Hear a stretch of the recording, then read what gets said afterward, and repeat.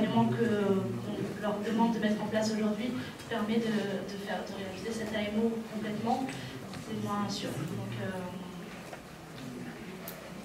les agents EDF C'est pas les agents EDF L'agent EDF, ça reste une entreprise commerciale pour moi.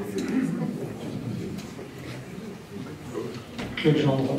Euh, quand on parle de précarité énergétique, on parle de, la facture énergétique du, ménage. Alors, il y a évidemment celle relative euh, au logement, je suis d'accord avec vous que c'est quand même bien le, problème principal, mais euh, il ne faut pas négliger les dépenses relatives au transport.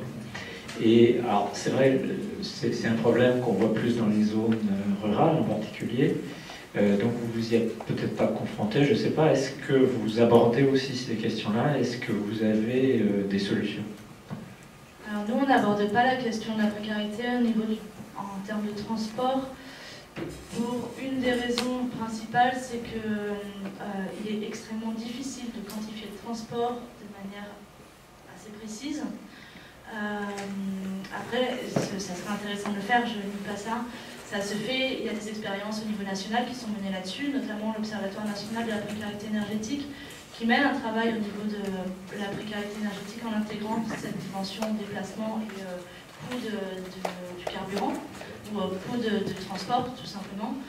Euh, nous, on ne l'intègre pas dans notre réponse.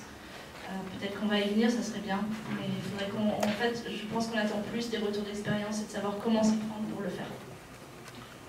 Bien, on va arrêter les questions ici pour euh, cette conférence. Merci donc Madame Laure